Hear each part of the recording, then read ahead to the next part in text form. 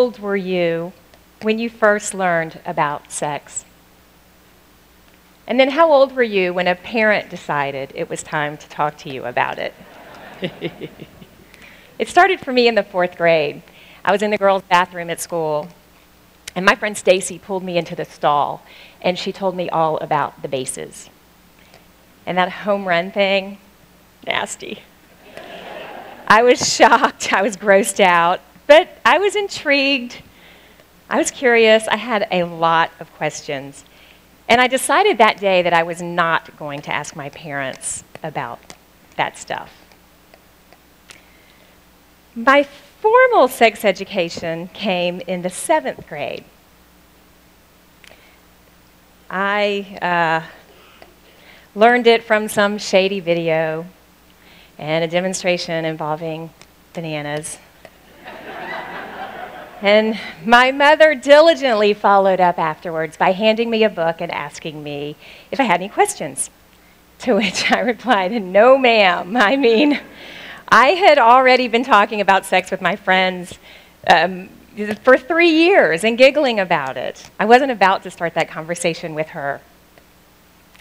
Uh, and besides, I was a seventh grader. I knew everything. And despite my avoidance of mature conversations about sex at that age, I somehow became a gynecologist. and I specialized in pediatric and adolescent gynecology, which is a fabulous specialty, but it does come with a harsh reality. Every day in my practice, I was taking care of girls who had been sexually abused. I was taking care of girls who had started having sex too young. I was treating their sexually transmitted infections. I was caring for pregnant teens. And every day I was dealing with issues related to the lack of sexuality education and the shame and embarrassment that enshroud our conversations about it. You know, some things have changed a lot, some things haven't changed. What hasn't changed is the fear and anxiety we have when it comes to talking to our kids about sex and sexuality. But what has changed drastically is the way our children get information when they're afraid to ask their parents something. Today, teens basically have 24 7 access to high definition video of a variety of sexual behaviors. They get relationship advice from other teenagers who have established themselves as experts on a YouTube channel and any third grader knows that you can type a word into a Google search box and get a full page of images or details. And in fact, by fourth grade, half of all children have seen online nudity. It's because boobs is a popular search term. But a third of them have seen pornographic images, whether intentional or unintentional. And by fifth grade, in our state, one in five students has had sexual intercourse. Excuse me, by seventh grade. And by high school, one in 10 has been sexually abused. But the average age of sexual abuse is nine. And then there's this trend that's very bothersome to me. There's a near epidemic of young adult men who are seeking treatment for erectile dysfunction. It's been attributed to pornography addiction. The fact that they masturbate to pornography throughout the years when they're conditioning their sexual response means that their relationship with a real human doesn't work the same way.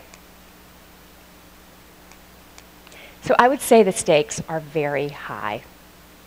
It's time for us to get rid of our shame and embarrassment when it comes to talking about sex with our kids so that we can promote healthy sexual development and safe development. There's enough out there that's promoting unhealthy development. And I'm sure that when we pass down our shame and embarrassment to our kids, it prevents them from asking their questions and telling their stories and advocating for themselves when it comes to their own emerging sexuality.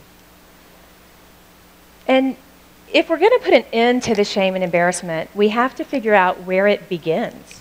Where does it start so we can stop it? I've put a lot of thought into this. And I'm convinced that our shame and embarrassment begins with the informant. The person who gets to tell the story first sets the tone. And for kids in America, the informant, when it comes to sex, is usually none other than a fourth grader, typically with an older sibling. I know this because every year I get emails and phone calls from near panic stricken mothers whose little darlings have come home from school and they've learned about sex from a friend. When I think about this, there are always two phone calls that come to mind. One of my friends called me. Her daughter, Katie, had come home from school and um, she was crying and her mother finally got out of her why she was upset. And she said she had learned what sex was. And she knew that it involved being naked under the covers with wiggling and poking and horribleness.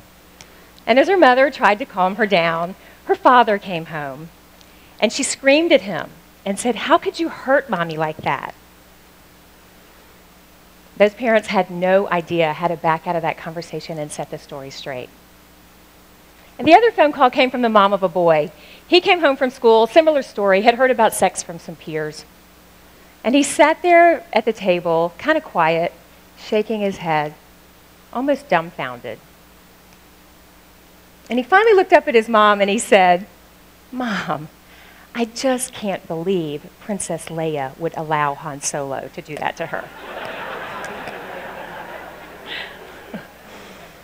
At that point, all a parent can do is backpedal. It's not easy. So, what if we could bypass this whole fourth grade informant thing? What if you could become the informant? You can. You just have to beat them to the point. And based on that, from my professional experience, from my experience as a mom of three, and yes, I have tried this at home, I'm convinced that eight is great. Yes, eight years old is the perfect age to talk to your kids about sex and reproduction. And I know you parents are going, oh, that's so young, they're so innocent. But it's their innocence and their ability to understand it that makes it the perfect time to talk to them. They're not embarrassed. They haven't attached any negative messages to the, to the talk. And it's not just to prevent the drama at home. There are actually other reasons why eight is great. If you could be the first person to talk to your child about sex and reproduction and give it the awe and wonder and respect that it deserves, you're setting the tone for your child to have accurate information from a reliable resource. And when they hear other things on the playground down the road, they'll know the true story. Another reason I already alluded to the average age of sexual abuse in our country is nine. Children who understand sex and the appropriate context and boundaries for it are less likely to become victims of sexual abuse. And the last reason, and one that I think is most transformative for those of us in the room, if you can talk to an eight year old about sex and reproduction, it is the perfect way to unzip your own awkwardness and embarrassment when it comes to talking about sex. That's because they're not embarrassed. They're not embarrassed in the least. They'll ask great questions. Some will be technical, some will be humorous. You'll find yourself having this conversation that's direct and simple and laced with humor. And that's the perfect way to start a long term uh, thing with having these great conversations. So, if I've convinced you that eight is great, let me finish up by giving you three tips on how to have this conversation effectively and efficiently. First, you're going to talk it up big. You're going to make it a special occasion. Tell them you're going to tell them something very special on a special occasion. And tell them you haven't been able to tell them that before now because they weren't old enough to treat it with the respect and maturity that it requires. That way, you're. oh. We're a little early with that. That way, um, you're already instilling some confidence in them and you're emphasizing the importance of respect. Secondly, you're going to do some homework. You're going to go to Google Images and download some pictures. Eggs and sperm and embryos from chickens and cows and humans, they all look very similar and it's fascinating. Fetal development in the uterus and the birth process.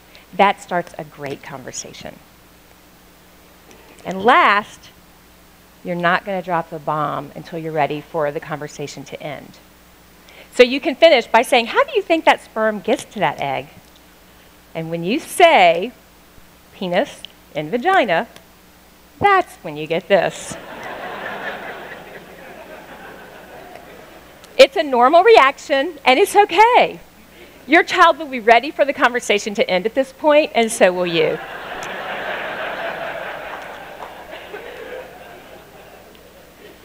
So, with that, you have opened the door to release the embarrassment and shame. Your child will be ready to run off and play with their Legos, and you can stop and give yourself a pat on the back. Because you've just opened the door to releasing the embarrassment and shame associated with these conversations, and that will change the culture that your child grows up in. So keep talking. There's a lot more to talk about. Stay the informant, and good luck.